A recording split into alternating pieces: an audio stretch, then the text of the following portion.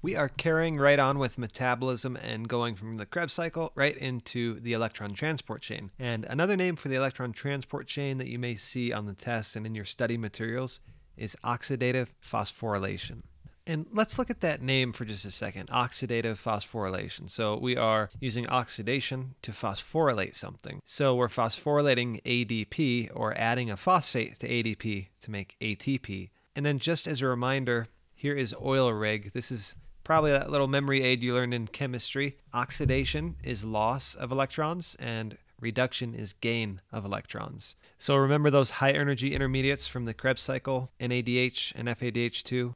Oxidation will occur, and remember, oxidation is loss, so NADH is going to lose its electrons and donate to these electrons in the electron transport chain. So first thing we got to cover is the location. So it's going to happen in the mitochondria, but more specifically, you got to know that it's going to be the inner membrane. So it's going to occur in the mitochondria. And remember, the mitochondria has two membranes to it. It's got the outer membrane and the inner membrane. And so you have to know that the electron transport chain is going to happen on the inner membrane.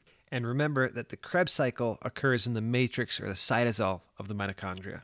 Now, let's look at how the Krebs cycle and the electron transport chain fit together. So we've got the Krebs cycle happening in the mitochondrial matrix. We've got acetyl-CoA jumping in with oxaloacetate. And ultimately, the end goal of the Krebs cycle is to create these high energy or high electron intermediates, NADH and FADH2. And then on the inner membrane, we have these enzymes called complex 1, 2, 3, and 4. And then we have some minor players like Q and cytochrome C which we'll get into later. And then the NADH and the FADH2 are donating their electrons, loss of electrons, and the electrons keep jumping through this chain of enzymes until they get to their final electron acceptor in the form of O2. That's a really important point that you for sure got to know. And so once the electrons join with oxygen, they create water in the form of H2O. And remember that these electrons have a lot of energy, and so they cause the movement of hydrogen into this inner membrane space. And so what we have happening is H plus begins accumulating in high concentration over here, and then it powers the ATP synthase enzyme. It runs through this turbine like enzyme, and it ends up allowing ATP synthase to phosphorylate ADP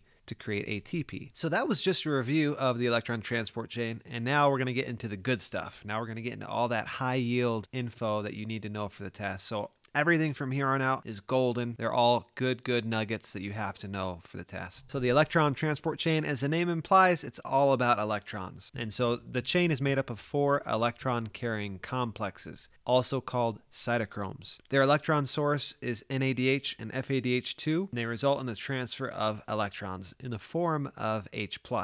The H plus is moved across the inner membrane to the space between the inner and outer membrane, and then the final electron acceptor is going to be oxygen. Okay, so let's talk about the enzymes in the electron transport chain and what you need to know about them. So there are four major complexes called complex 1, 2, 3, and 4.